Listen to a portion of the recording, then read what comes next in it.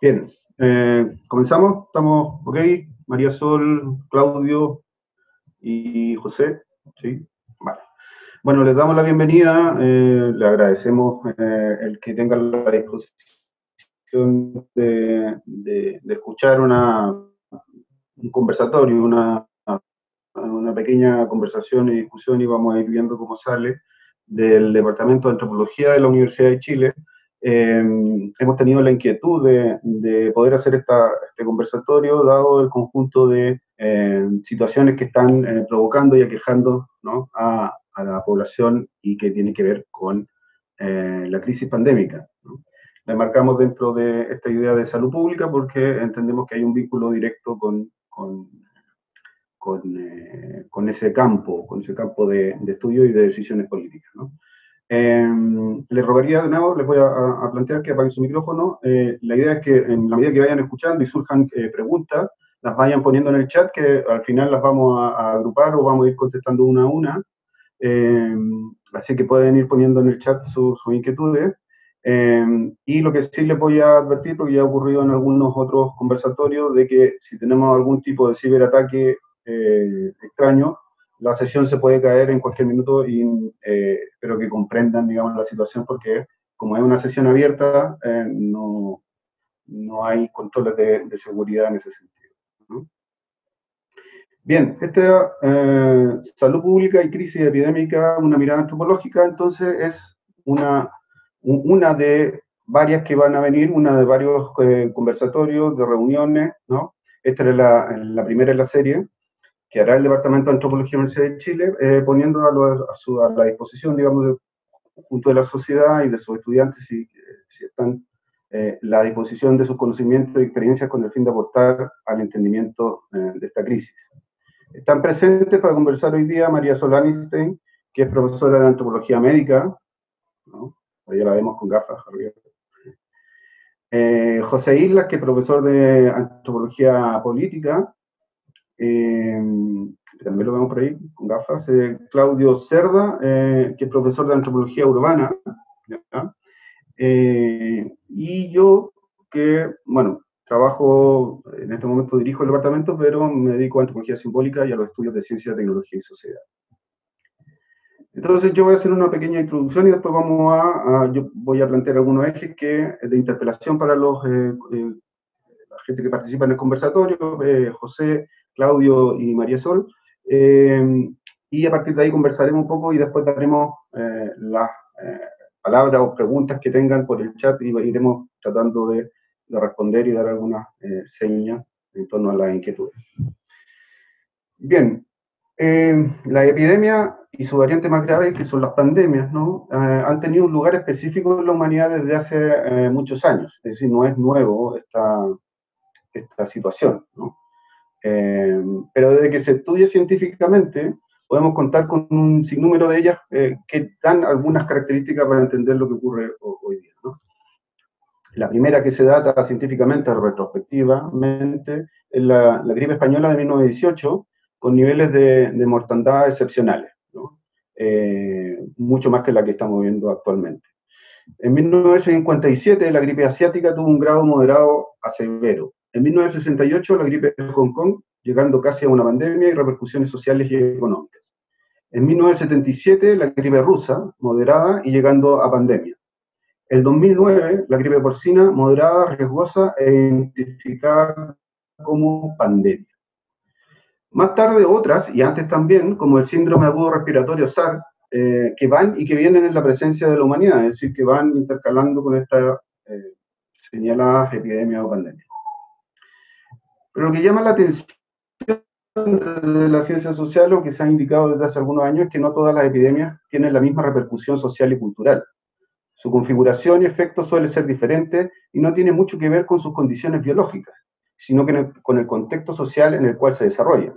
Lo relevante entonces para las ciencias sociales es la idea que John Balluck propuso hace algunos años, idea del el espacio epidémico o de cómo un conjunto de agentes sociales se conectan y relacionan dando los contornos a la afectación. En este tipo de crisis suelen surgir tres metáforas, o hay instaladas tres metáforas en, eh, la sociedad, eh, con profundas repercusiones antropológicas. y que están ligadas a los esfuerzos científicos y tecnológicos. Nos recuerda a Frederick Keck y Andrew Lakoff, investigadores de epidemias, eh, que eh, estos esfuerzos científicos tecnológicos también son esfuerzos que recaen en decisiones políticas, económicas, médicas y en los anhelos de la sociedad. ¿Cuáles son estas metáforas? La del centinela, que es quien va de avanzada para señalar las dimensiones del riesgo, con el peligro de que reproduzcan las mismas condiciones. La del profeta, que interpreta a través de signos e imágenes el inminente futuro político-económico, con el problema de que el profeta y futuro suelen estar íntimamente relacionados a su destino. La del pronosticador, figura moderna que reúne conocimientos detallados sobre el presente con el fin de calcular y planificar el futuro cercano. No obstante, se encuentra a expensas de la forma de sus tecnologías. La crisis epidémica actual ya tenía instalado a sus centinelas desde el 2009, cuando cambia una serie de protocolos y medidas a nivel global sobre lo que se considera una pandemia. Se avisó que pronto vendría una como la que vivimos, pero ya sabemos el problema del centinela. Por su parte, la profecía de una transformación total y estructural del mundo occidental capitalista es inherente a las formas del pensamiento de lo moderno. Basado en la idea de crisis, esa visión muchas veces sirve de cura o expiación, y ya sabemos el lugar que le hemos dejado a los profetas en nuestras sociedades. El pronosticador o el pronóstico quizás sea la clave dada a esta crisis que estemos pasando, a través de nuestra confianza en los datos, Recuerden que tenemos una mesa en Chile para ello. Y en la proyección de modelos estadísticos o matemáticos que nos permiten tomar decisiones futuras en, la base, en base al campo científico-tecnológico. Pero por eso mismo, en la forma de nuestras métricas, se juega la capacidad de monitorear el futuro.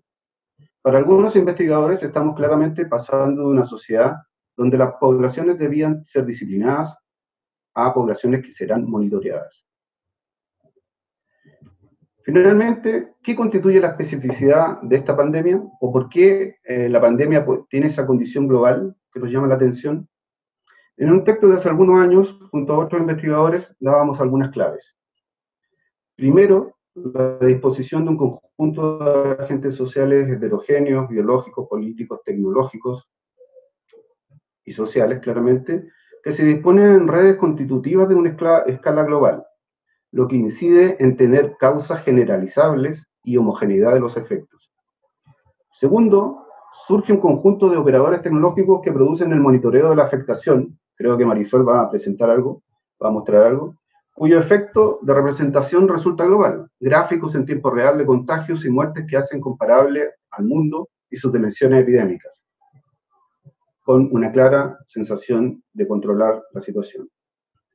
Tercero, las cercanías socioespaciales a escala planetaria, que hacen que el vector supere la velocidad esperada para este tipo de contagios. La pandemia entonces no es solamente un hecho biológico, y más especialmente para la antropología, como plantea Fassan, otro autor, eh, se trata de que de qué hace que un hecho biológico, como es el contagio de un virus, se transforme en un hecho cultural. Esto nos acerca al problema de la salud pública. Se descubre un acrecentamiento de las epidemias, no en su cantidad, sino que en sus dimensiones, dada la globalización y el surgimiento de nuevos actores locales e internacionales. En este sentido, con los profesores, hemos estructurado este conversatorio en torno a las inquietudes que más o menos ellos han vertebrado y generado eh, los siguientes ejes. Uno de ellos es la crisis social o las nuevas, o no tanto formas políticas de la comunidad. El segundo eje son los problemas del cuidado o autocuidado muy vinculados a la salud mental de la población. Y el tercer eje, las nuevas disposiciones espaciales de la ciudad producto de grupos vulnerables y decisiones gubernamentales, como llegaron a llamarse en un pasado la idea del retorno de la ciudad-estado. Son tres ejes que no acaban ni eh, cercan, digamos, toda la dimensión de la pandemia, la dimensión antropológica y cultural de la epidemia, eh, pero comenzaremos por ellos a conversar y en próximo eh, conversatorio abordaremos otras dimensiones. Entonces, me gustaría interpelar entonces a, eh, primero a José Isla respecto a la crisis social y las formas políticas de la comunidad.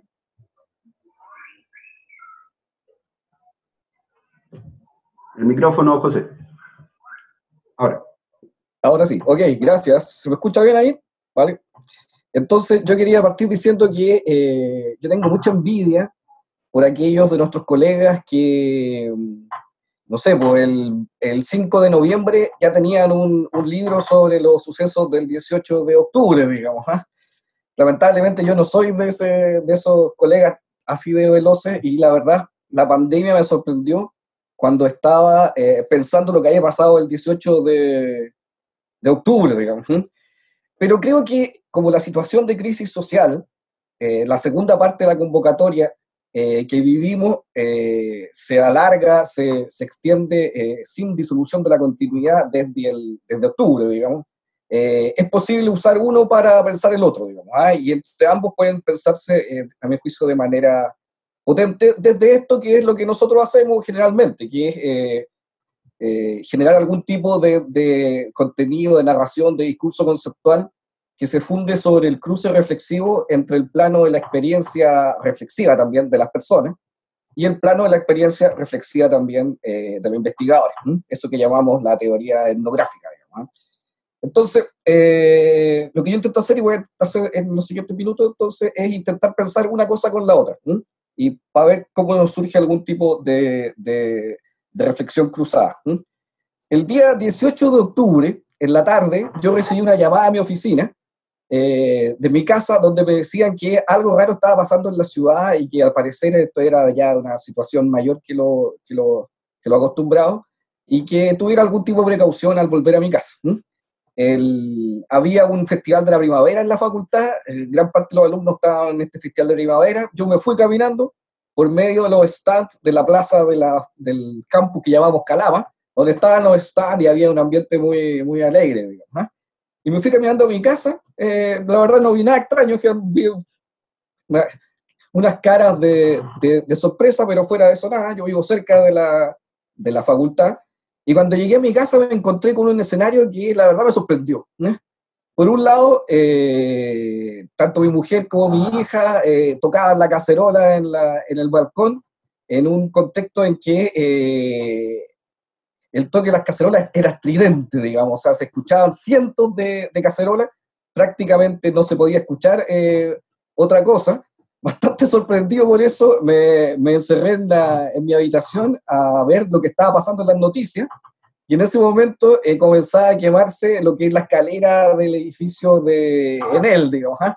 En ese momento yo, como, como seguramente muchos de los que veíamos, pensaba que se estaba quemando todo el edificio, no solamente la escalera, digamos.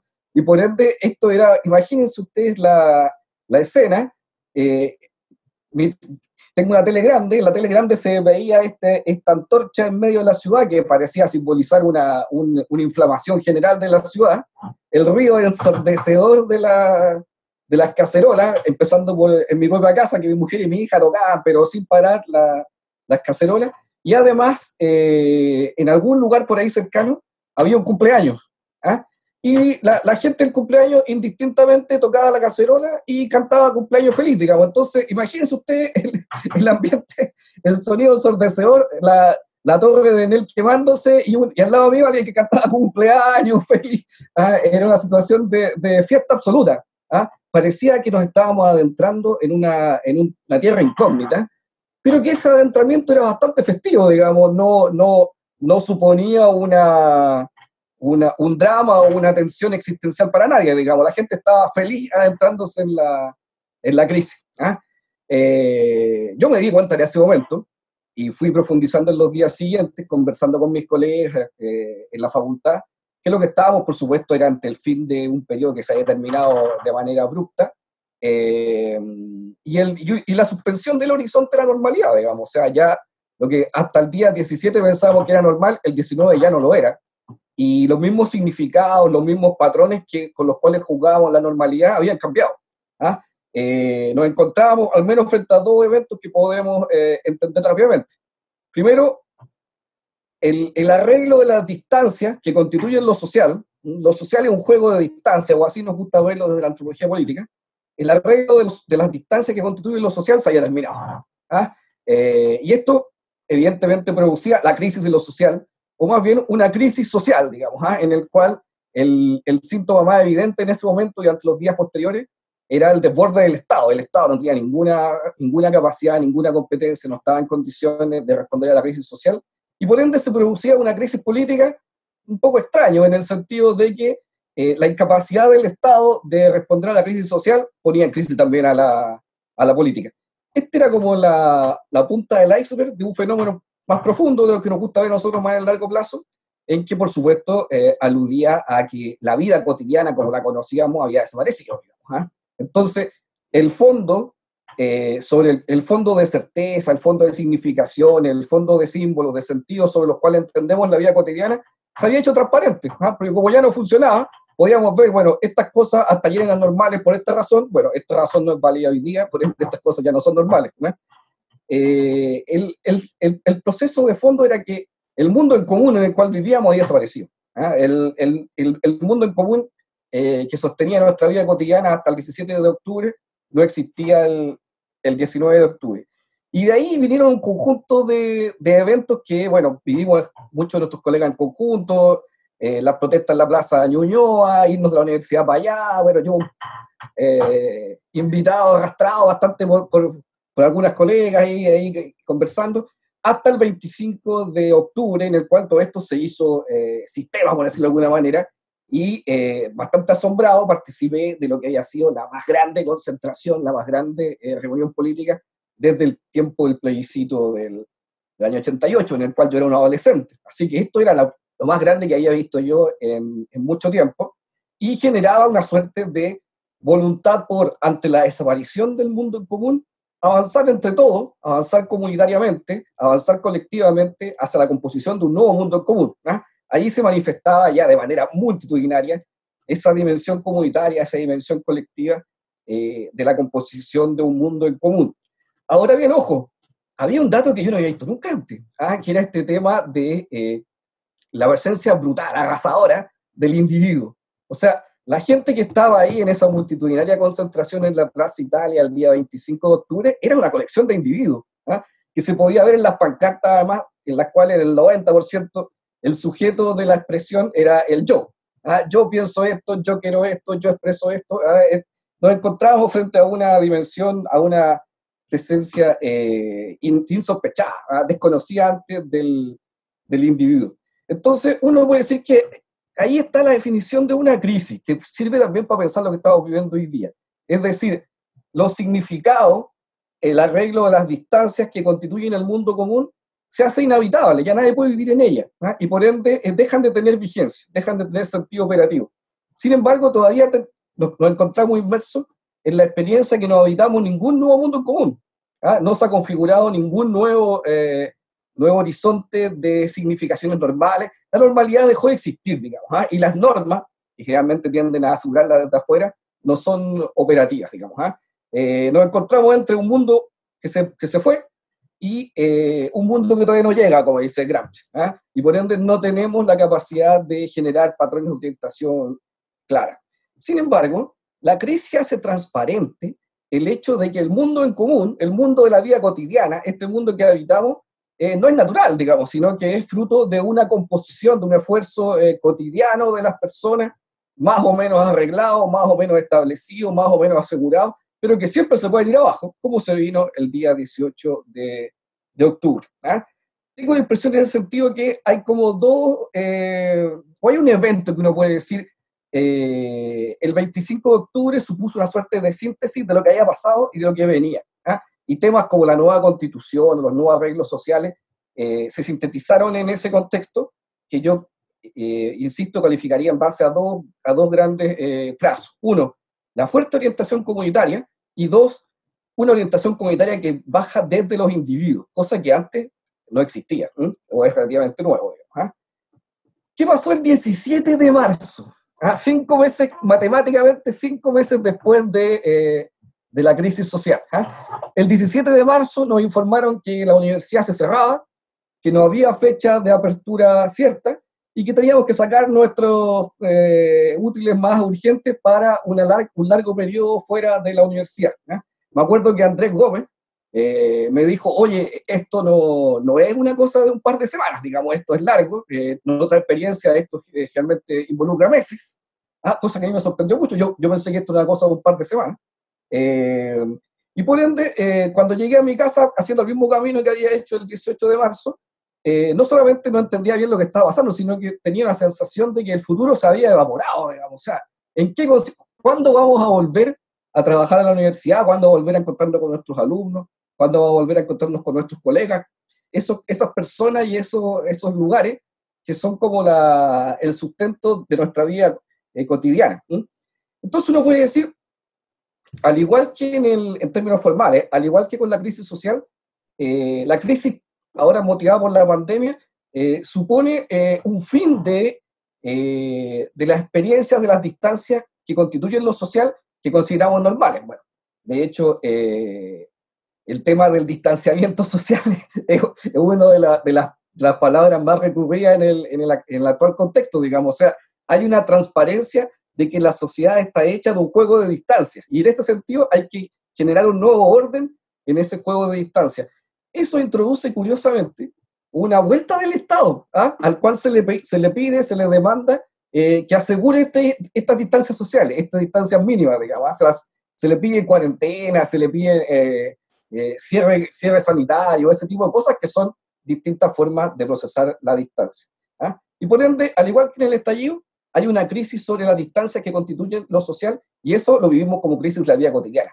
Incluso más allá, porque si bien teníamos ciertos parámetros sobre qué debíamos hacer al día siguiente del estallido, no teníamos ningún parámetro sobre cómo es posible reconstituir eh, el fondo de seguridad ontológica que permite eh, realizar nuestra actividad en la vida cotidiana. O sea, ¿Cómo podemos asegurar que si salgo a la calle no vuelvo enfermo de coronavirus y, por y contagio a mi familia y por ende todo mi día se, se va al carajo, digamos? ¿ah? Y entonces eh, se produce esta, esta, de manera aún más transparente que en el estallido social, esta suerte de desaparición del mundo en el que vivimos, digamos. ¿ah? Y por ende dejamos de tener parámetros eh, y se hace transparente el hecho de que el mundo en que vivimos es precario, es, es poco natural, es un esfuerzo y es siempre una composición eh, trabajosa. Entonces yo intentaría cerrar eh, diciendo que aquí se, se, se constituye una, una crisis en el sentido de que la ciudad que habitamos, nuestra vida cotidiana, ya no es un mundo habitable eh, y por ende es necesario ponernos de acuerdo, conversar, encontrarnos para construir un nuevo mundo habitable. El problema es que no podemos encontrarnos ¿ah? y eso genera una doble, una doble derivada de la crisis que es inédita con respecto a, otra, a otros momentos, digamos. ¿ah? Pero esto transparenta la, la, el hecho de que la política, el arreglo de las distancias sobre el cual se funda la vida social, va más allá de las puras personas, digamos, va más allá de las puras instituciones. O sea, sujetos o agentes que no conocíamos, como los virus, por ejemplo, tienen algo que decir al momento de cómo reconstruimos o componemos un mundo en común, digamos. ¿ah? Lo encontramos de lleno en eso que los antropólogos llamamos una dimensión cosmopolítica del mundo en común, digamos, ¿ah? que va más allá de las propias personas. Ahora, un par de tips, ¿ah? parecido al evento del 25 de octubre. Yo tengo la impresión de que tenemos algunos datos sobre lo que está emergiendo que es bien interesante. Tengo la impresión, por ejemplo, que la Teletón, el, el inesperado éxito de una iniciativa de cooperación social masiva enteramente online. Yo creo que nunca en Chile se haya visto algo así Nadie esperaba que la Teletón juntara más de lo que haya juntado el, año pasado y bastaba con que tuviera algún comportamiento digno. Sin embargo, de repente se, se, revela que tenemos una capacidad increíble para coordinarnos y para cooperar online, de las cuales una muestra también este conversatorio y el conjunto de actividades académicas que estamos manteniendo online. Está surgiendo una segunda dimensión de la vida cotidiana que es online y que no teníamos y no conocíamos con anticipación. ¿ah? Y esa dimensión de la vida cotidiana se, se condice, converge, coopera con, la, con una orientación eh, en, en, la conversación que tenemos sobre la crisis, que de alguna manera se opone a la conversación que teníamos sobre el estallido. Recuerden lo que les planteé, que la conversación, el movimiento que teníamos respecto al estallido, tenía una fuerte eh, tendencia comunitaria. Bueno, lo que tenemos ahora es una fuerte tendencia inmunitaria. Si la, marcha, el encuentro en la Plaza Italia u otro tipo de actividades colectivas era el signo del estallido social, eh, el conversatorio online es el símbolo de, eh, de, la crisis pandémica. Si uno es fuertemente comunitario, el otro es fuertemente inmunitario. ¿ah? Y, eso, para ir cerrando, me recuerda una, y, podemos volver después las conversaciones, me recuerda eh, las teorías o las propuestas que planteaba un, un, teórico político hace poco tiempo, y por lo cual generó un cierto ruido en la filosofía política. Me refiero a Roberto Espósito, un, un, pensador italiano, que eh, diagramaba la dinámica de la modernidad en términos de lo que él llamaba comunitas y inmunitas. ¿ah? Precisamente estos dos, estos dos componentes con los cuales escribió dos libros que se llaman igual, con los cuales eh, generó bastante ruido en, la discusión política. La fuerte orientación hacia eso que tenemos en común, ¿ah? que no tiene otra forma que la forma de una obligación, ¿ah? y esa obligación transparenta, sintetiza, produce el vínculo social. ¿ah? La fuerte orientación a, eh, a la vida en común que nos genera eh, la comunidad, y por otro lado, la negación de esta vida en común, ¿ah? esta idea de salirse, de no deberle nada a nadie, de no estar en contacto con nadie, ¿ah? de ser un, ente autónomo, un individuo propiamente tal, es decir, un, ente social que ya no es descomponible en sus relaciones sociales constituyentes, que constituye, a mi juicio, el, e, e, el mejor símbolo de lo que está pasando ahora. Yo creo que podemos mirar lo que está pasando con una tensión entre comunitas e inmunitas. La orientación a lo común la orientación a salvarse de lo común. ¿ah? Y creo que podemos discutir eso en la, en la fase de conversación. Gracias. Ok, Pepe. Gracias. Eh, bueno, nos quedan dando vueltas varias ideas. Le pasamos la palabra a María Sol, o le pasamos, no sé qué le pasamos, le pasamos, no sé. La cámara. y el micrófono. Bueno, hola, buenas tardes. Eh, primero, comentar que la idea de esto es hacer como una reflexión cortita, eh, en honor al tiempo. También contarles que estas reflexiones que les quiero comentar han sido producto de, eh, de algo que hemos emprendido colectivamente con el Núcleo de Antropología y Salud de la Escuela de Salud Pública, que componemos con otras antropólogas. Eh, y Básicamente a mí lo que me interesaba eh, tratar de problematizar en este espacio son algunos de los elementos que, han, hemos vivido en los últimos días, ¿no? No toda la pandemia en general, sino algunos elementos que creo que se han vuelto relevantes ¿no? con, los sucesos de los últimos días. Eh, antes de eso me gustaría como hacer un contexto general. Em, ya conocemos los datos de la pandemia. Yo preparé una imagen que voy a tratar de, de proyectar que probablemente muchos de ustedes las han visto, pero vamos a ver si funciona. ¿Se ve? ¿Sí? Bueno, estos son los datos que proyectan y que se van actualizando. Esto es de hace un par de horas, se actualiza permanentemente. Es lo que la Universidad de Johns Hopkins tiene publicado, ¿no? Y son los casos confirmados, las muertes alrededor de todo el mundo, ¿no? Cuando uno ve esto, uno, por un lado, se asusta, ¿no? Es una imagen fuerte, pero por otro lado también em, hay personas que empiezan a, sacar cuentas, ¿no? Y cuando uno saca cuentas se da cuenta de que tal vez no hay tantas más muertes que los años anteriores, que eh, la mortalidad no es tan alta cuando se lo compara, por ejemplo, con la influenza o con otro virus, que ya han habido muchas pandemias en la historia. Entonces, como que estos datos uno los puede relativizar y,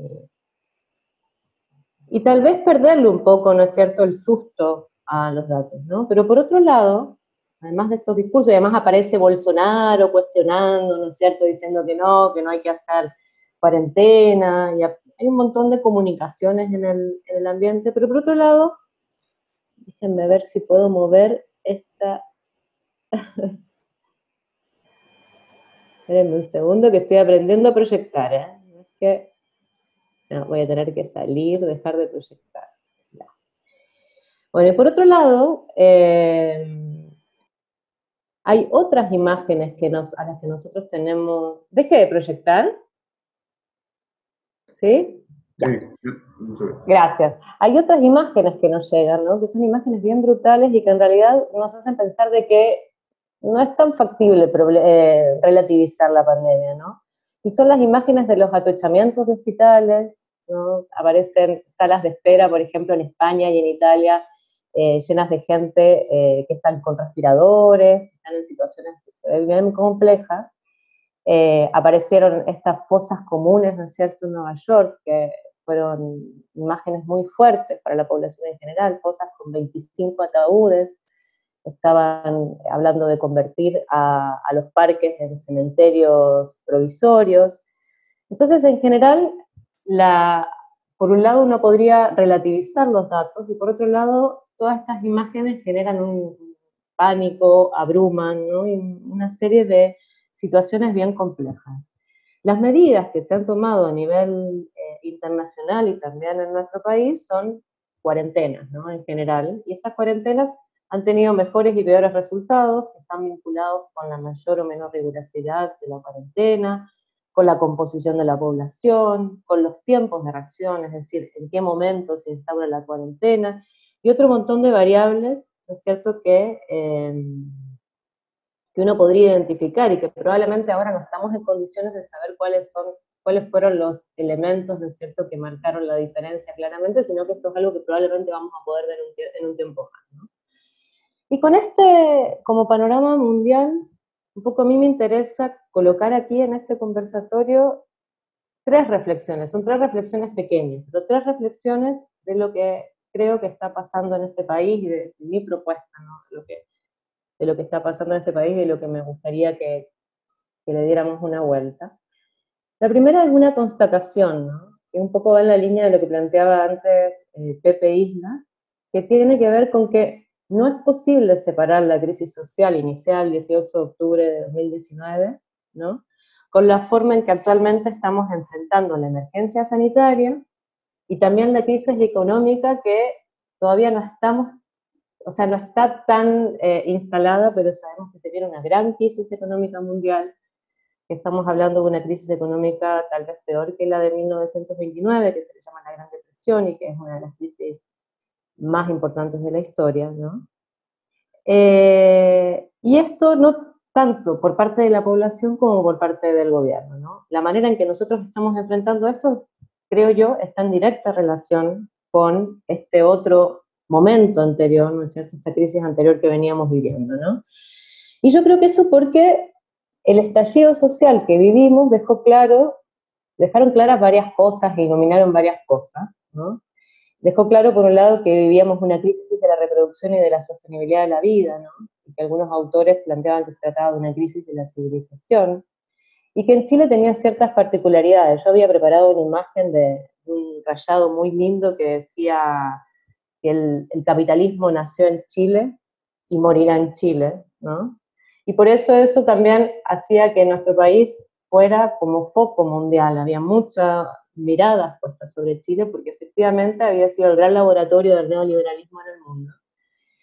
Y eh, el capitalismo, el neoliberalismo, quise decir antes, disculpen. Eh, por lo tanto, había particularidades de nuestro país que lo hacían, lo ponían en un, lugar distinto, ¿no?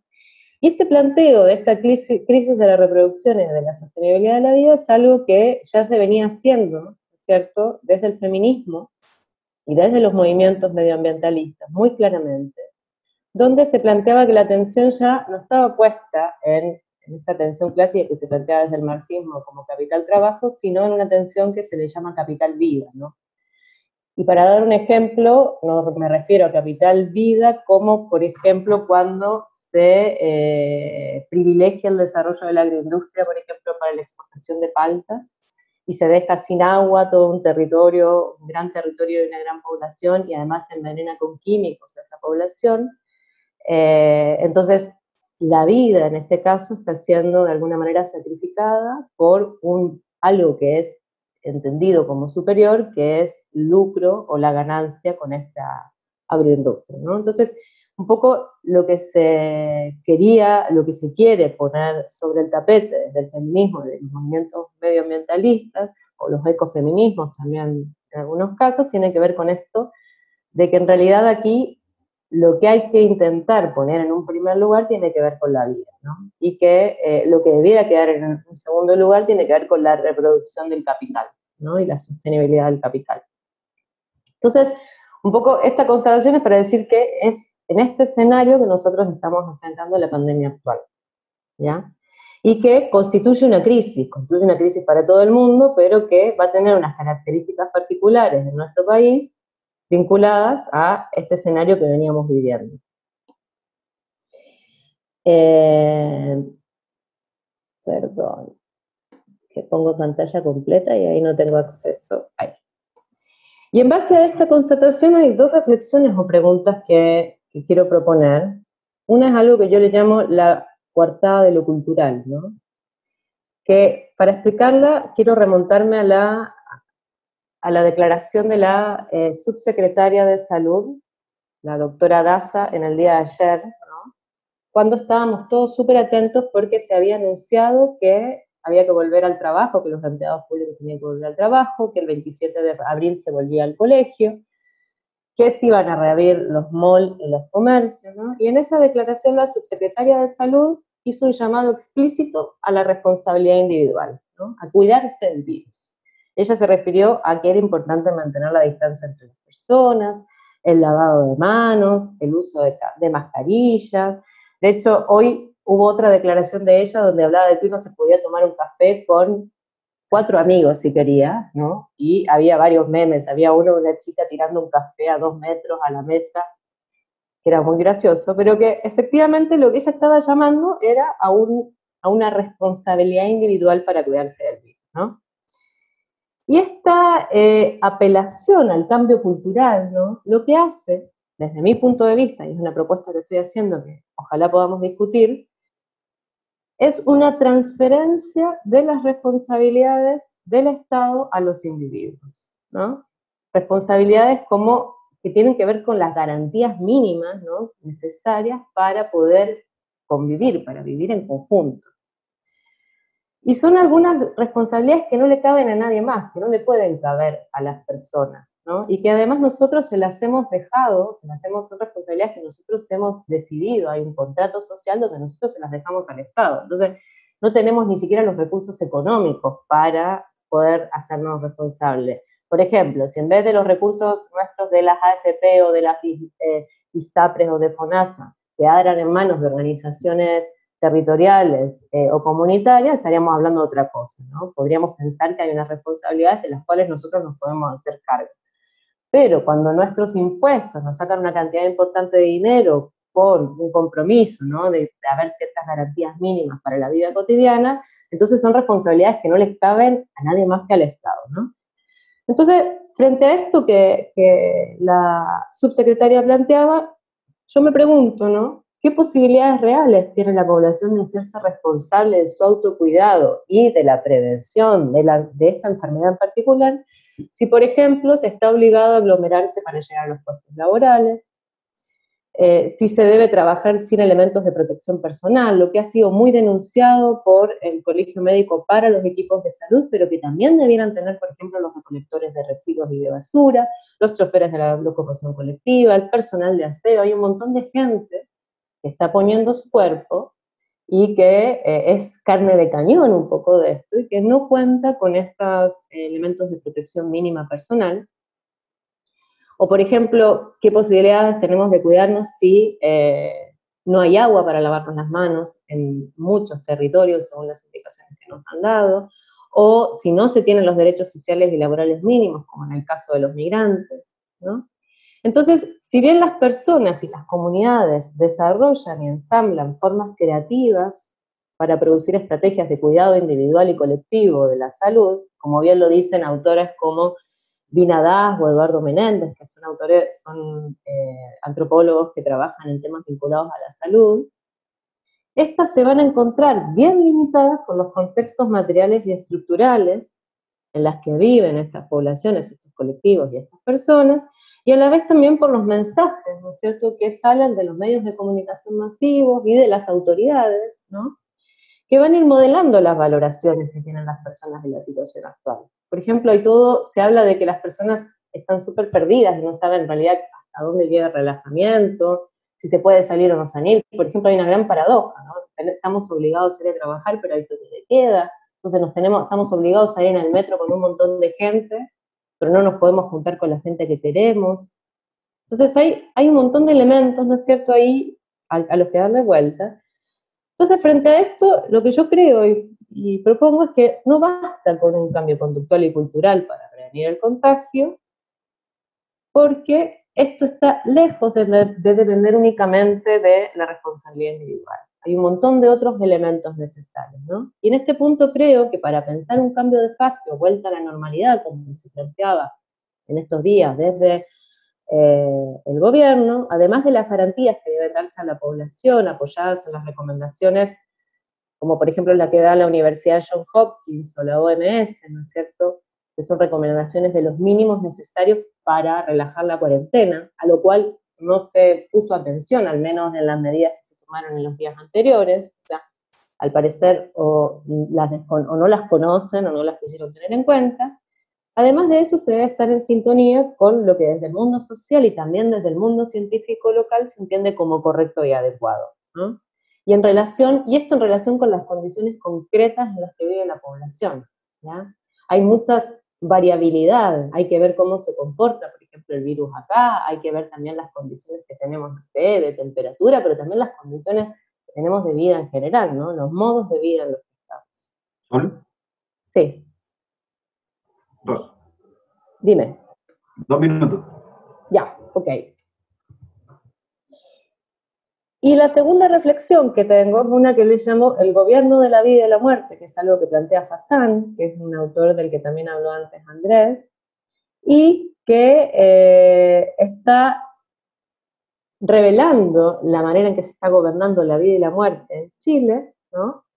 la manera en que se está proponiendo o imponiendo la, muerte, la vuelta a la normalidad, como por ejemplo el protocolo de la vuelta a clase, el instructivo de la vuelta al trabajo, y el futuro instructivo de reapertura del comercio y de los malls, que resuena mucho, ¿no es cierto?, con una declaración que hizo hace poco el, eh, Carlos Soulet, que es el gerente general de la Cámara de Comercio de Santiago, que decía, no podemos matar toda la actividad económica por salvar las vidas, porque después vamos a estar lamentando que la gente se muera de hambre, ¿no? Yo me pregunto, y uno se puede preguntar frente a esto, ¿no? Estas vidas, gente que, eh, qué vidas se van a salvar, uno se pregunta quiénes deberían morir, en qué circunstancias, en cuál, por cuáles razones, ¿no? ¿Quién lo va a decidir? Y es algo sobre lo cual no hemos debatido ampliamente como sociedad, ¿no? Lo que nos pone ahora en una, en una posición difícil. Y ha habido muchas señales que nos invitan a pensar que lo que se está barajando, ¿no es cierto?, desde los distintos medios de comunicación y también desde las distintas autoridades, es una mirada más bien darwinista del control de la población, donde los más débiles y con menos recursos son los que se pueden dejar morir. Algo que hemos visto antes, pero que ahora nos está explotando un poco en la cara de una manera brutal. Y creo que la apertura a esa reflexión ha sido negada e invisibilizada, ¿no es cierto? Y sobre todo a mí me genera mucha eh, desazón cuando pienso que nos han negado la, el debate y la reflexión acerca del aborto y la eutanasia, siendo que son ilegales. Y se vuelve a dejar en un plano individual o sea, a la decisión del médico, del equipo de salud, quién vive y quién muere, ¿no? Y esto queda muy claro cuando, por ejemplo, se traslada en un avión de la FACH a Santiago a un hombre de 61 años, un médico, pero hay otras personas que ni siquiera merecen el uso de un respirador.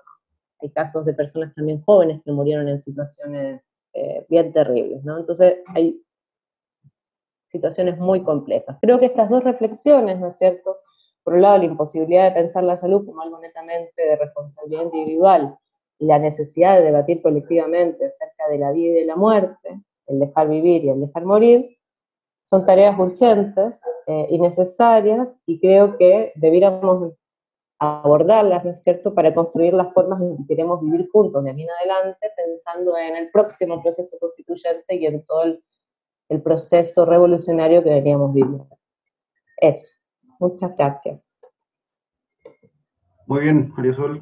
Eh, bueno, vamos a dar la última palabra y después vamos a ir mirando los chats eh, si hay preguntas o intervenciones.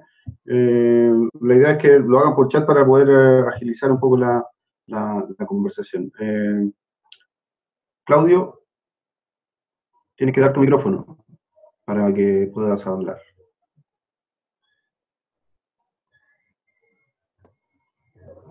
Ahí estamos. Hola a todos y a todas. Eh, bueno, antes que nada, agradecerle al departamento la, posibilidad que nos da de compartir eh, ideas y que tú en un momento tan especial, como decía el Pepe, que, estamos viviendo en, no solo en el país, sino a nivel global.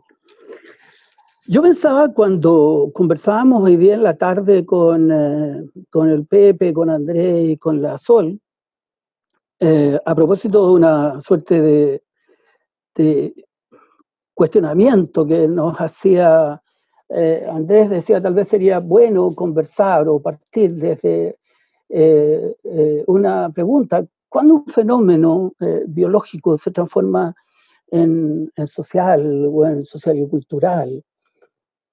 Y la verdad es que pensaba desde la óptica de lo que me toca conocer y trabajar. Y en particular pensaba en que tengo la sensación de que este, de alguna manera eh, esta historia de cómo se transforman eh, eh, las cosas, cómo se transforma lo biológico en sociocultural, de alguna manera es una historia o una idea que podemos pesquisar eh, bastante en el pasado. Si uno mira, por ejemplo, las ciudades eh, en la revolución industrial, y particularmente en el tipo de ciudades a las cuales dio origen eh, la revolución industrial o transformó, hay que referirse a cierto tipo de conmociones que esta revolución, que esta revolución tuvo sobre los espacios urbanos.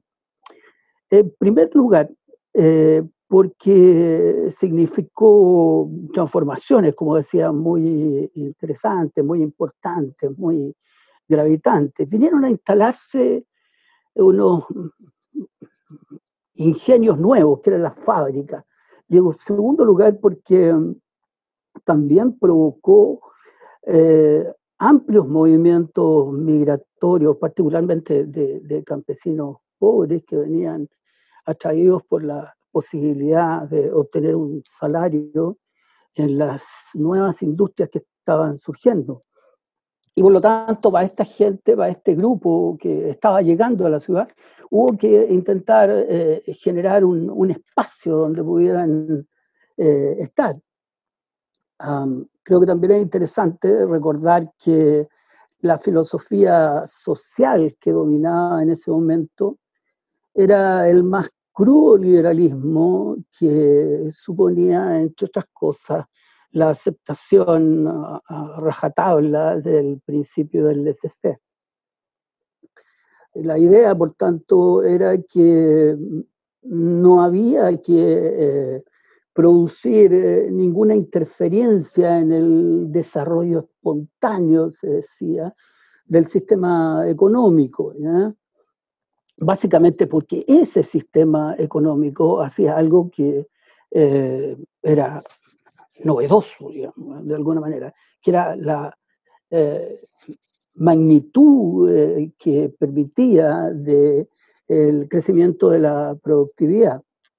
De hecho, Ricardo, David Ricardo, el economista, sostenía que la persecución del beneficio privado eh, decía, y lo cito, está admirablemente conectada con la consecución del bien común. Eso es interesante, ¿ah?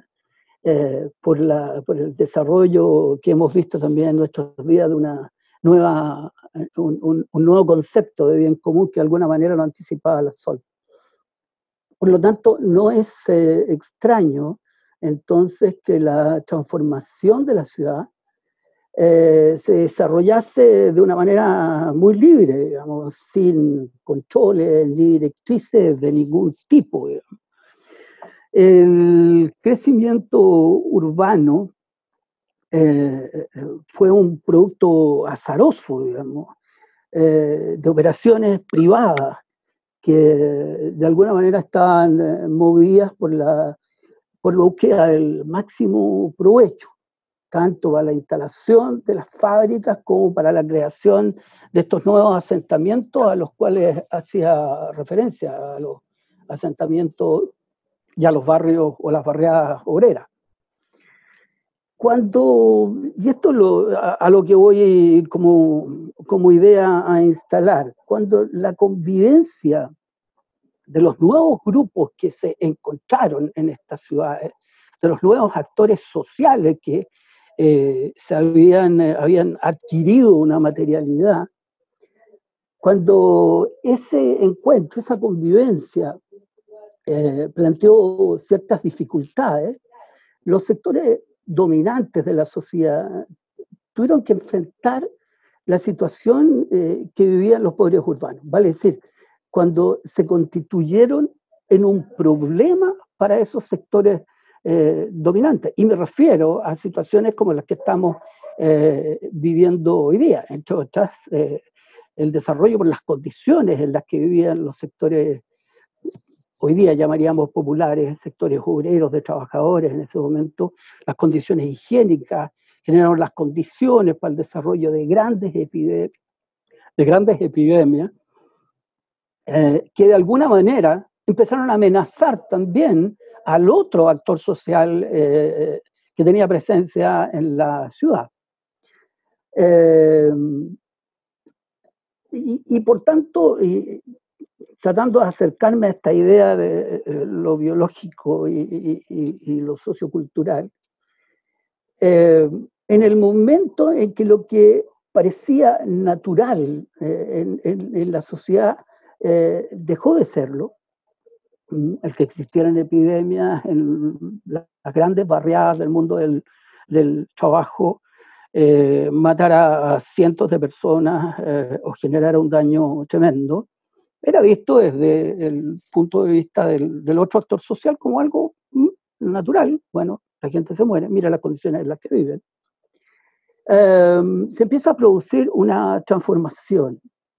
Entonces, esta idea de lo biológico y lo natural empieza a ser de alguna manera eh, dejada de lado eh, para transformarse entonces en social o en cultural. Dicho de una manera más coloquial, cuando la molestia que enfrentaban eh, los pobres se transformó en una amenaza para los sectores dominantes, empezamos entonces a asistir a un cambio cualitativo, eh, a, la constitución entonces de un problema importante para la sociedad. Eh, y a buscar también entonces respuestas para ello. Yo pensaba a propósito de esta reflexión, eh, cómo de alguna manera también construimos hoy día cierto tipo de, de ideas. Pensaba hace dos o tres meses atrás, eh, a, mediados de diciembre, fines de diciembre, los primeros días de, eh, de enero, pensábamos, cuando escuchábamos las noticias, algo similar a la, a la idea que, que planteaba. Em, había una epidemia o algo así que ocurría en un pueblo en China. No sé si ustedes recordarán que se hablaba de una ciudad pequeña en China, una ciudad que tiene alrededor de 14, 15 millones de habitantes, Wuhan, entre otras cosas. entonces, de alguna manera también eh, eh, construimos eh, esa relación entre lo biológico y lo social y cultural a partir de un hecho específico, que es cuando nos empieza a afectar a nosotros cuando nos empieza a amenazar a nosotros. Esa es una, una idea que me parece interesante de, dejar instalada. Una segunda idea tiene que ver con em, la, forma en la que hablamos normalmente em, cuando nos referimos al asentamiento donde vivimos. Y básicamente lo que hacemos es referirnos como la ciudad, mi ciudad, donde vivo. Em, y la verdad es que ese, ese aspecto, esa idea, eh, es necesario revisarla, a mi juicio. ¿Por qué? El derecho a la ciudad, decía eh, Henri Lefebvre, como el derecho de los habitantes urbanos a construir, decidir, a crear la ciudad, especialmente eh, en estos días resulta una materia de discusión eh, indispensable. ¿ah? La existencia de una ciudad es cada vez más una aseveración osada, pero sobre todo es una aseveración controversial. Uno de los personajes públicos con mayor exposición mediática eh, aseguraba hace unos días algo que es interesante en esta línea de, reflexión.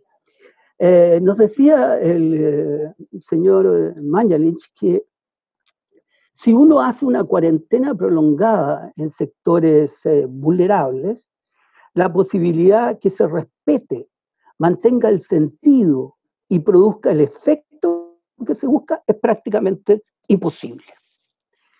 Esta afirmación puede ser empleada para construir una imagen mental eh, bastante certera de aquello eh, que constituye la ciudad del proyecto tardocapitalista en Chile.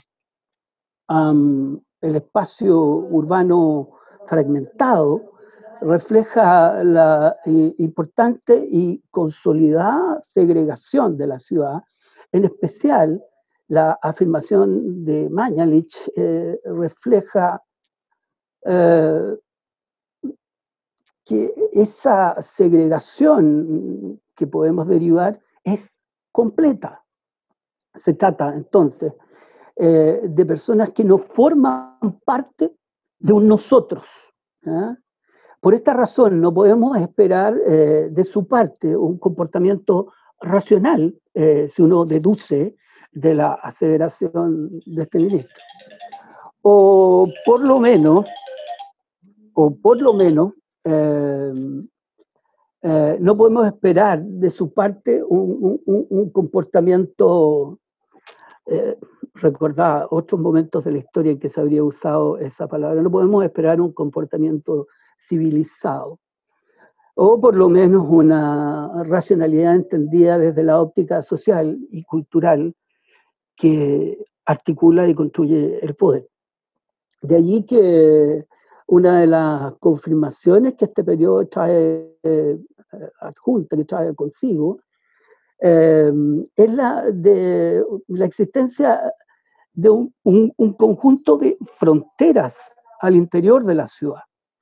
Algunos podrán afirmar eh, que más bien se trata incluso de la existencia de diversas ciudades eh, que se unen a partir de las fuerzas centípetas del mercado.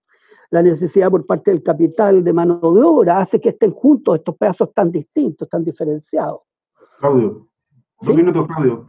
Sí, termino en dos minutos.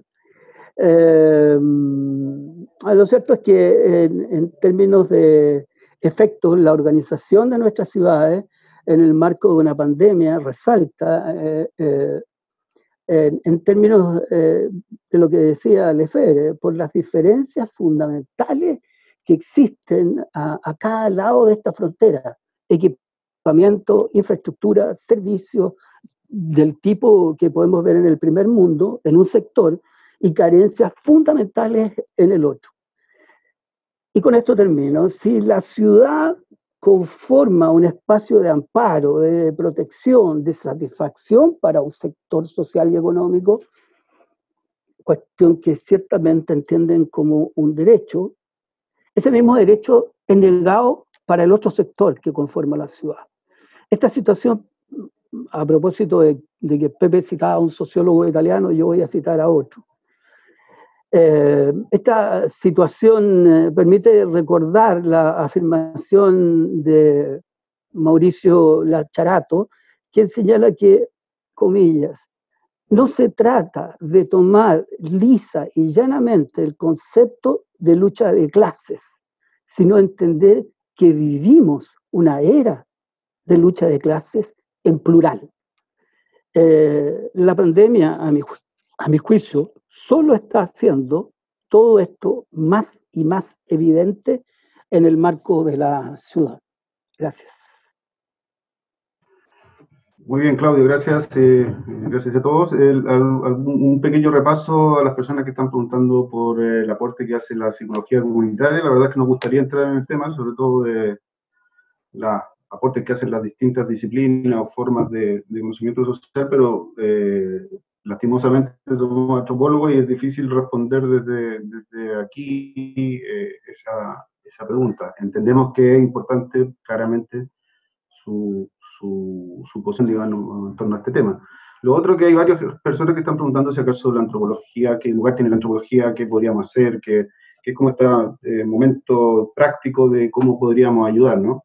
Eh, en general, los académicos nos cuesta dar recetas y decir qué es lo que tenemos, qué es lo que tiene que hacer la gente. Pues, entonces estamos intentando eh, proponer preguntas, ¿no? Porque eso que es mucho más importante en épocas de crisis proponer preguntas sobre las cuales podamos indagar eh, posibles eh, soluciones o, vertebrar, digamos, algunas reflexiones para que otros sí puedan tomar con cierta sustento, digamos, decisiones, etc. vamos a hacer una, una, ronda pequeña y yo voy a ir recopilando la información del chat, las preguntas, y voy a volver. en principio me parece que hay una, como un espacio común que surgió en torno a la, a la, conversación, que yo que no lo habíamos preparado así, pero que que parece muy potente, que, que, ese, que la crisis en el fondo nos está llevando a, preguntarnos por cómo se ensaya la comunidad, ¿Cómo, dónde están los puntos que nos hablan de qué entendemos por comunidad y que todos estamos entendiendo o estamos eh, dibujando, planteando como comunidad y eh, cómo priorizamos ciertas cosas a partir de, esa idea. Me parece que no, es, no está del todo, digamos, eh, resuelta, tanto porque venimos de estallido social del 18 de octubre, como porque esta crisis pandémica precisamente pone el dedo en esa pequeña abertura eh, y la hace más eh, evidente o ostensiblemente eh, más preocupante, digamos, para, para una sociedad. lo dejo, pero si los ponentes quieren decir otra cosa mientras yo compendio las preguntas. María Sol, sí. Sí, hola. Sí, yo vi que varias de las preguntas iban un poco en torno a, qué contribución podría hacer la antropología, ¿no es cierto?, en este momento de la pandemia. Y, en general, cuando uno lee la literatura sobre el rol de la antropología y de las ciencias sociales en contextos de epidemias, lo que se plantea es que en, el momento más álgido de la epidemia no hay tanto que nosotros podamos hacer eh, desde las ciencias sociales y desde la antropología en particular. Sí podemos comenzar a, hacernos preguntas eh, y sí podemos como aportar con reflexiones que permitan o que eh, vayan en la línea de las reflexiones que como sociedad podemos hacer de lo que nos está pasando. Pero como contribuciones concretas, en general, lo que se suele plantear es todo lo que podemos hacer posteriormente, los aprendizajes que deja una pandemia, ¿no? Y qué cosas podemos retomar del pasado, de otras pandemias, para ser usadas o para tener presentes en este momento, ¿no? Y eh, también un poco en la misma línea, había alguien que preguntaba cómo debiera, por ejemplo, eh, cómo debieran ser las comunicaciones por parte de las autoridades, por ejemplo, en la pandemia.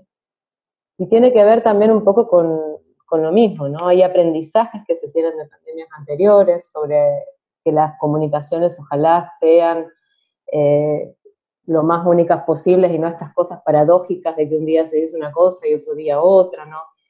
Hay una serie de elementos, ¿no? Que, o por ejemplo, la, que es necesario que haya un procesos de conversación con las distintas organizaciones sociales o con los distintos actores de la sociedad que puedan ir validando aquello que se va a comunicar, ¿no? Entonces, esa legitimidad permite que las comunicaciones sean mejor recibidas y mejor entendidas. De hecho, la OMS, entre las, plantea que hay seis eh, elementos que debieran tenerse en cuenta para poder empezar a relajar lo que son las cuarentenas. Y esos elementos, el último elemento que plantea, que escribe bastante, escriben bastante al respecto, tiene que ver con un empoderamiento de la población y con y con que la información sea muy transparente. Y, por ejemplo, esa es una de las cosas que no se ha hecho en Chile, ¿no? Y que es muy relevante, ¿no? Esta comunicación, por ejemplo, cuando el caso, hubo un caso de una ciudad que se llama María Pinto, que aparecía con cero contagiados en este informe que salió con fallas y que lo tuvieron que bajar desde el Ministerio de Salud, y que al día siguiente tenía 200 y tantos contagiados. Entonces, ese tipo de información es información que localmente es de mucha utilidad. Por lo tanto, el tipo de comunicaciones que sea tiene que ser un tipo de comunicación certera, pero además también tiene que ser un tipo de comunicación como transparente, donde los criterios de la toma de decisión son criterios que, son conocidos por todos, ¿no?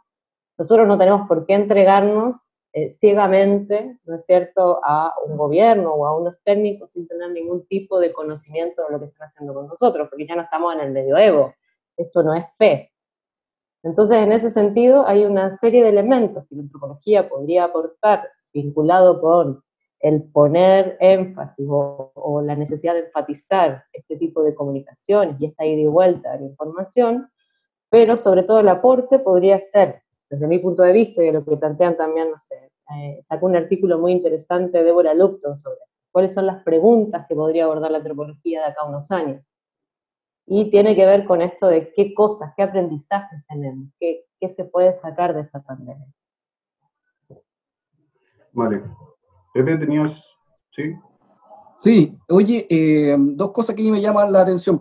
Primero, hay un tema que es bien interesante, que es sobre eh, el lugar y la situación del mundo popular en la, en la crisis, y que vale para el estallido y que vale para la pandemia, ah, en diferentes registros, pero es una pregunta válida en ambos, en ambos contextos. Por ejemplo, eh, el ejemplo etnográfico que yo uso de eh, la manifestación concentración de la Plaza Italia del día 25 de octubre, que es como la consumación de la dimensión fiestera, la dimensión eh, alegre, la dimensión comunitaria del estallido, eh, y que, bueno, posiblemente la manifestación más grande en la historia de Santiago o, o es del mismo orden de las últimas del periodo antes del plebiscito 88, pero fue también la manifestación más pirula que yo he visto nunca, digamos, o sea, eh, el, sujeto popular no, no protagonizaba esa manifestación y en alguna medida eso se traducía en, en esta suerte de ausencia de banderas, salvo la bandera de los clubes deportivos, digamos, de los clubes de fútbol, las barras bravas y eso, em, y la enorme cantidad de pequeños afiches que interpretan lo que yo pienso respecto a la situación, digamos, son, son banderas sobre mí, me expresan, digamos, pero no expresan ningún tipo de, de identidad colectiva. Buscamos la comunidad, pero desde una posición de individualidad, digamos. Ah, e insisto, antropológicamente, individuo llamamos a aquella, aquel agente social que no es eh, descomponible en sus relaciones constituyentes. Hasta ahí llegó eh, la operación de las relaciones constituyentes. A partir de ahí ya entramos a otra, a otra lógica. Entonces, si en ese contexto ya existía una suerte de, fase, de, diferencia significativa con respecto al mundo popular, el estallido social tuvo otras características que fueron posteriores, además, en, las comunas populares. Eh, aquí también se produce lo mismo. ¿ah? Eh, efectivamente, yo entiendo que eh, los chats tienden a invertir un poco lo que yo creo que es la, la intención de María Sol, en el sentido de este carácter clasista de la, de la de la enfermedad, digamos. Ah, tengo la impresión que María Sol menciona este carácter clasista en cuanto eh, deja de lado los sectores populares y lo expone eh, en, un factor plus con respecto al resto de la sociedad. Pero la verdad es que efectivamente en la opinión pública este carácter clasista también se entiende a la inversa, en el sentido de que esta fue una enfermedad que partió de los sectores altos ¿ah? y que de algún modo u otro eh, durante un tiempo se mantuvo como un signo de distinción de los que viajan. ¿Ah? de los que tienen acceso eh, experiencial al mundo globalizado, digamos, y que la trajeron de ese mundo para acá. Y en ese contexto, eh, el cierre inmunitario del mundo popular tiende a ser el sentido de separarse de los que viajan, separarse de los que tienen acceso a la, al mundo en términos presenciales, en términos, en términos eh, experimentales. Entonces, efectivamente, hay un tema que es que no tenemos muy claro cuál es el horizonte de... O sea, para decirlo de manera súper sencilla, cuando hablamos de la crisis como hablamos, nos estamos refiriendo sobre todo a una crisis de sectores medios. ¿ah? Y no tenemos del todo claro eh, cuál es el horizonte. Posiblemente no haya una crisis en estos contextos en el mundo popular, digamos, ¿ah? o tenga otros parámetros. ¿ah? Y efectivamente deberíamos estar siendo capaces de interlocutar, de experimentar, de, poner, de exponernos a eh, la crisis en el mundo popular, pero no tenemos esa posibilidad por razones obvias en este contexto. Y ahí aprovecho de retomar cortito las otras preguntas sobre el rol de la antropología. Por supuesto, la antropología es una reflexión informada etnográficamente eh, que tiende a una, cierta, a una cierta duración, digamos, o sea, al igual que otros somos eh, socios del búho de Minerva y pensamos al atardecer, digamos, cuando las cosas ya pasaron. Pero también es cierto que tenemos un aporte, yo creo, súper interesante en, el en tanto en la descripción, en el seguimiento, en el acompañamiento etnográfico de la, de la crisis. Yo creo que en buena medida la popularidad cultural, la fama de la antropología hoy en día se da por la capacidad de construir in situ y en tiempo real eh, descripciones etnográficas sobre lo que está pasando. Tenemos una pregunta, ¿qué está pasando en el mundo popular? No tenemos respuestas para eso y creo que en cuanto podamos, digamos, los antropólogos deberíamos exponernos a eh, reconstruir esa, esa, reconstruir esa pregunta y plantear ciertas respuestas en base a experiencia etnográfica. Por ahora, en la imposibilidad de realizar etnografías in situ y en tiempo real, tenemos que explorar estos nuevos mecanismos. O sea, de hecho, eh, es primera vez que hacemos esto en el de antropología, no debería ser la última, y deberíamos comenzar a explorar estas nuevas modalidades y estas nuevas herramientas que potencian eh, nuestro, nuestra intuición, nuestra capacidad de percibir lo que está pasando en términos antropológicos. Y también tenemos que usarla para que la potencie y no para que la despotencien, evidentemente. Pepe, gracias. Hay una pregunta muy interesante y además estaba pidiendo la palabra Claudio. Eh, Claudio, ¿se podría referir al, tema territorial, ¿no? A cómo afecta territorialmente la pandemia. Me parece que es interesante, sobre todo con eh, lo que son los cordones sanitarios y otras medidas que, están redibujando la ciudad. A ver, déjame ver primero el tema del supuesto clasismo. Parece que es un tema bien interesante porque eh, no, nos habla de ciertas características que tiene la globalización, no todas las características, pero sí algunas de ellas. Bueno, el virus llegó al país por los sectores medios y altos. Eso es absolutamente claro. Y eso ocurrió en prácticamente, eh, no sé, prácticamente toda América Latina. Y desde allí empezó a propagarse a través de segmentos sociales eh, pobres. la verdad es que esa es una imagen que no solo podemos eh, ver para el caso chileno. Eh, la verdad es que los sectores que han recibido el, impacto mayor en el mundo entero es eh, aquellos sectores eh, más desfavorecidos social y económicamente. Si miramos el caso de Nueva York, que lo, que lo comentábamos hoy en, en, la mañana, el caso de Nueva York nos muestra que básicamente son población afroamericana y población latina la que ha puesto o ha pagado el costo mayor en vidas y en eh, sufrimiento. Eh, y eso básicamente por las características que tienen, por lo que significa en, Estados Unidos la destrucción de lo que había avanzado Obama en el sistema de salud, del Obamacare. Eh, y, la verdad es que estos sectores quedaron absolutamente protegidos. Si uno quiere mirar otro caso distinto, puede ver el caso de de Ecuador, donde básicamente, particularmente en Guayaquil, eh, los sectores eh, populares han sido golpeados de una manera inmisericordia. Si quiere irse a otro lugar, puede tener un ejemplo similar. A propósito de ejemplo etnográfico, yo he seguido de cerca lo, que ocurre en una ciudad pequeña del sur de Francia, se llama Perpignan, eh, y, y, particularmente la zona del centro, un barrio que se llama Saint-Jacques, donde viven los gitanos, que son el sector más pobre de, esa comunidad, también el golpe más grande, el sufrimiento más importante ha estado en, ese grupo, lo que me remite a la pregunta sobre el territorio. Yo creo que eh, si miramos el contexto mayor, lo que podemos decir es que, me refiero eh, una mirada comparada, como lo estaba haciendo hace un segundo, Estados Unidos, la misma Europa, excepto el caso italiano, diría yo, que es distinto, que es anómalo. Eh, eh, el caso de América Latina, básicamente los territorios donde existe una, población con mayor con mayores carencias han sido los más golpeados. yo quiero creer, Sol decía, esta no es una cuestión de fe, pero déjame Sol por un segundo hacer una plegaria y pedir que eh, en Chile eh, los riesgos que estamos tomando eh, en particular no, no se transformen y, permiten, y permitan que ocurra una tragedia.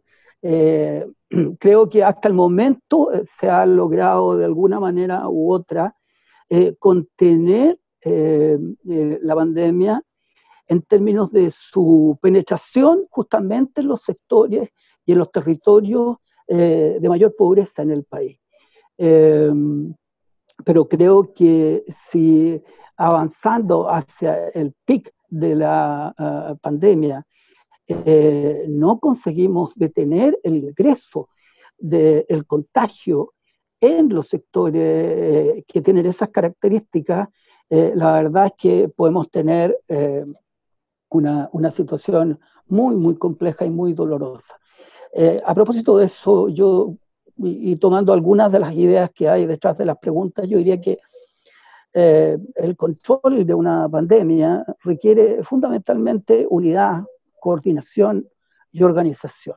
Creo que uno de esos eh, requisitos y otros están bastante lesionados en el caso chileno. El de la Unión, en primer lugar, porque a partir de lo que señalaba el Pepe, si uno toma la referencia del, de octubre en Chile, eh, una de las cosas que están o, resultaron más lesionadas fue justamente la legitimidad de las autoridades y por lo tanto hay una lesión muy importante a un factor de unidad en un eh, país. Y la coordinación, porque también, como señalaba la Sol, uno de los aspectos más interesantes de lo que ha sido la acción del gobierno ha sido su escasa, por no decir nula, transparencia en, eh, en su comunicación. Por lo tanto, si pensamos en esta triada, en la necesidad para detener esto, unión, coordinación y organización, estamos en un momento complejo. Creo que eh, una de las formas eh, interesantes o, importantes para pensar en, los sectores menos favorecidos del país es justamente la oportunidad que existe en este momento y creo que los antropólogos de una manera u otra tal vez podríamos hacer una contribución a eso, a imaginar formas nuevas de organización. Nosotros, eh, una de las formas de organización que tenemos en, el país son las juntas de vecinos a nivel territorial, pero ustedes saben lo que significan las juntas de vecinos hoy día, prácticamente tienen una existencia muy precaria. Necesitamos nuevas formas de organización, los sectores populares, los sectores más eh, desfavorecidos, necesitan eh, imaginar nuevas formas de organización. Creo que eh, los cabildos, como herencia del del 18 de octubre tal vez pudieron haber hecho un aporte o podrían haber permitido imaginarnos alguna otra forma de organización. Eso. Gracias, Claudio. Bueno, eh, voy a dejar un, breve mensaje de, y después voy a, hablar sobre un tema y yo creo que ya cerramos por, por esta vez, digamos, ya una hora y media y yo creo que eh, es suficiente porque además se está yendo la gente como, como toda conferencia. eh, entonces, primero, pasarle el dato que eh, en el fondo la conferencia se va a subir en video o en audio, va a estar en disposición en el portal de la facultad y como he visto algunos intereses o, o preguntas sobre bibliografía, creo que ahí donde se suba vamos a intentar poner alguna referencia bibliográfica o incluso indicar los textos donde eh, puedan estar eh, las inquietudes que ustedes tienen. Eh, yo me quería referir a, dos cosas pequeñas, digamos. Alguien dijo por ahí que, que, le, le, podríamos decir al ministro de Salud. Yo tengo la sensación, por las cosas que yo estudio e investigo, de que más allá de la idea de que estamos preparados o no, eh, lo que no hay aquí es un sistema de alerta temprana epidemiológico fuerte eh, que, eh, que además sea transparente en términos de, de, presentación de la información y los datos a, a una ciudadanía que tampoco tiene mucho mucha capacidad de valorar los datos según qué, ¿no? Y me parece que, si bien es cierto, se está apostando por ahí de manera fortuita o casual, es, una de los, eh, uno de los caminos a seguir, lo han, indicado los rectores de las universidades, hay centros de investigación de modelado matemáticos sobre epidemias, sobre los cuales realmente se pueden tomar decisiones muy, muy interesantes a la hora de eh, apuntar a este asunto. Pero con el ojo, con la precaución que les decía yo de una de las tres metáforas, que eh, las mediciones siempre deben su forma a las tecnologías que las hacen posibles, ¿no? y las tecnologías no son neutras, ¿no? Y los modos de medir las cosas tampoco son neutros. Es decir, en la ciencia hay política en, un sentido diferente, pero también hay política y también eh, va dibujando el fenómeno según cómo, cómo se presenten eh, eh, esos datos. ¿no? Y la, la, la, otra y la última que me parece que retomo de una reflexión que hace María Sol, que, que es que Tal vez la discusión ya no es tanto para nuestras sociedades de enfermedad, salud o estar sano o enfermo, ¿no?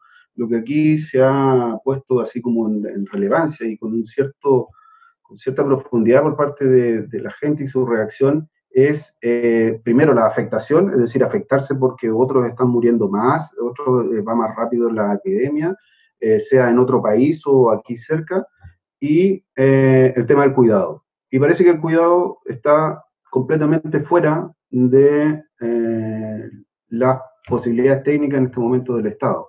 Y por lo tanto la gente se procura autocuidados que a veces son muy buenos o a veces pueden que no sean tan adecuados para lo que exige eh, la epidemia, pero ahí hay una rica eh, una, un rico campo social y cultural de cómo se eh, constituyen estos autocuidados eh, a nivel comunitario, a nivel local y en, eh, los grupos de afectación y los que no, digamos, ¿no? Los que se afectan por el solo hecho de saber que otros la están pasando mal. Ya lo habíamos visto en otros movimientos sociales anteriormente, que era como su bandera de lucha y que ya estaba instalado de una u otra manera en nuestra sociedad. Eso por mi lado. Les agradezco eh, la, la, ocasión. Eh, va, vamos a subir, vamos a intentar recuperar las otras preguntas que quedan algunas, pero eh, creo que es suficiente por esta vez y le informaremos de, otras, de otros conversatorios. Muchas gracias.